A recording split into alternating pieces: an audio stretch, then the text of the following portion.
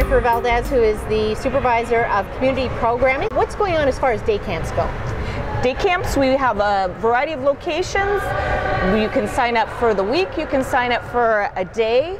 You can check out our calendars online. Each center has a different variety of programs. It is a vacation in the city for your youth uh, 3 to 13. And what about if you don't want to do day camps? If you don't want to do day camps, we will be having public skates and we'll be having public swims during the week.